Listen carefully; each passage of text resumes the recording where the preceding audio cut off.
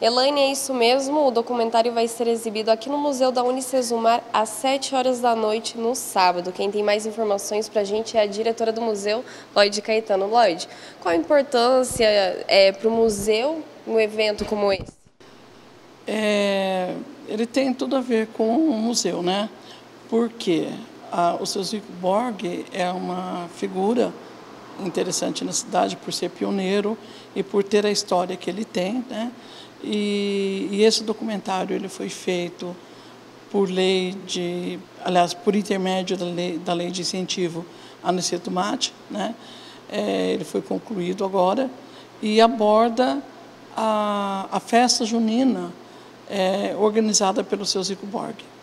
E a importância, né, é justamente por essa ligação da história de Maringá sendo refletida aqui no nosso cinema.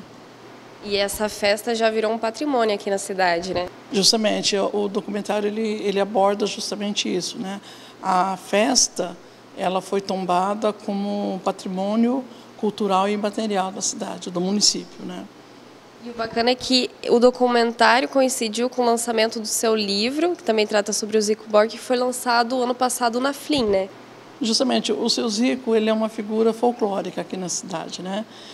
além dessa questão da festa junina que ele organizou e que depois foi tombada pelo município, ele também é um exímio contador de causos. Então ele, nos causos dele, ele incorpora os elementos da cultura popular e traz para a realidade dele, como se tivesse acontecido com ele aquelas histórias que nós aprendemos da infância.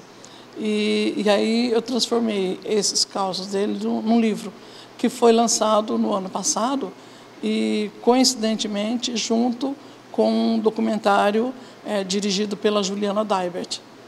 Bacana. E para o pessoal que não conseguir assistir, vai ter outras oportunidades de assistir esse documentário? Com certeza. Amanhã, a sessão aqui no Cinema do Museu vai ser uma sessão especial é, para convidados, para os familiares e para os convidados, as pessoas que participaram do documentário. Né? É, mas nós ficaremos com uma cópia do documentário aqui, que em outros momentos é, nós estaremos exibindo aqui no cinema, e também é, a, a, esse documentário ele vai seguir um roteiro estabelecido já pela própria direção do documentário. Né? Então, ele será exibido em outros momentos no Teatro Barracão, em Guatemi, na Sala de Cultura do Jardim Alvorada.